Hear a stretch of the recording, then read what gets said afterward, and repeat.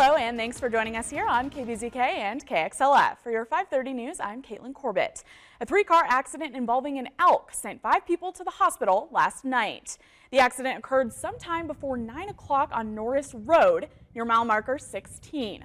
One vehicle struck an elk and two other vehicles crashed while trying to avoid the elk. Four people were transported by ambulance to Bozeman Deaconess Hospital, and one person was airlifted.